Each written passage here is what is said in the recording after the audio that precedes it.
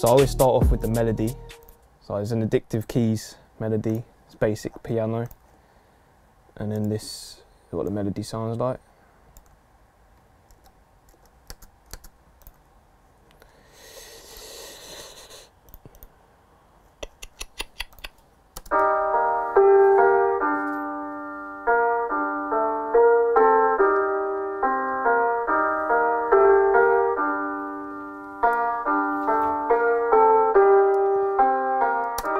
So literally just a simple piano, basic go-to for any beat really.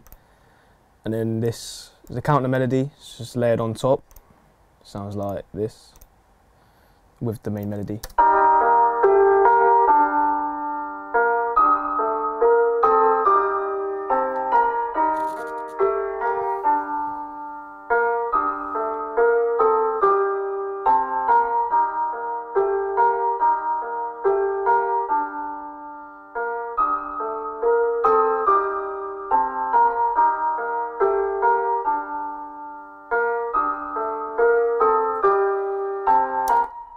And then usually I always start with the hi-hats.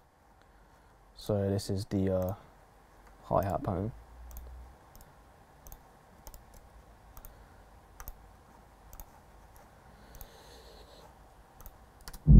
That's not a hi-hat pattern. Uh,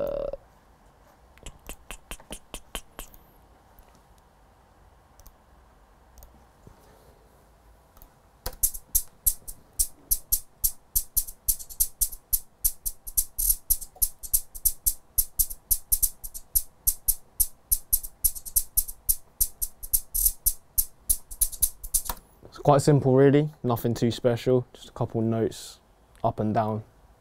That's literally it. Uh, then moved on to the uh, snare. So this is just a snare pattern. Again, basic, nothing special.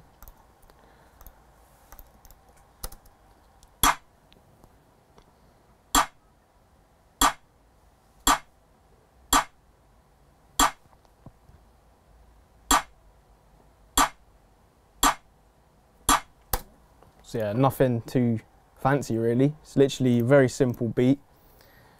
Wouldn't have took me that long to make. Uh, this is the 808 pattern. Uh,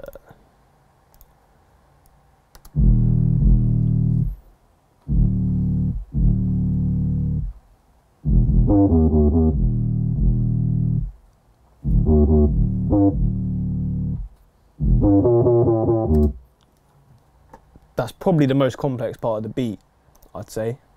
But still nothing special again, simple. Just the key.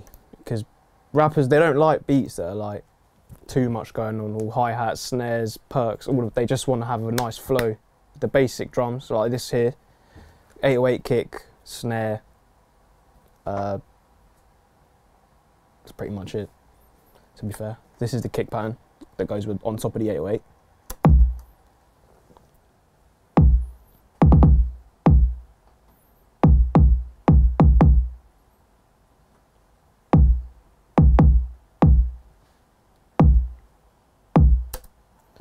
Simple. It's a bit. It sounds a bit off time if you're listening to it without the rest of the beat, but it'll make sense when you hear the whole beat. So yeah, that's pretty much it. To be fair, so 808 hi hat, snare, kick, two minute. That's six sounds in the beat, plus some effects and stuff here. But yeah, you don't ever really need to overdo it. I'd say just keep it simple. Just as long as the vibe. On artists more, they're looking to feel a vibe and just get a little bounce as soon as they feel that, they'll be like, yeah, I want to use it. So with this beat, it's such an old beat. I wouldn't. It was just like I completely forgot about it to be honest. And then Dezzie uh, messaged me on DM saying, "Oh, can you send me the stems for this beat? I'm going to use it." I didn't know what he was going to use it for. And then eventually his manager got into contact, said he's going to use it for the intro on his tape. So I was like, "Oh wow, that's mad!" Like Dezzie was my first placement, so to be on his debut tape as well on the intro is quite it's quite cool to be fair. I feel privileged to be a part of the project and to see my name on the list of all other producers that I've looked up to during my sort of progress in developing my sound. Like M1 on the beat mainly, his tutorial, one of the videos that got me started on making beats, like drill beats, that is. So yeah, it feels good. You know, I've got got to be thankful for where I am. But yeah, this is uh, what the whole beat sounds like altogether.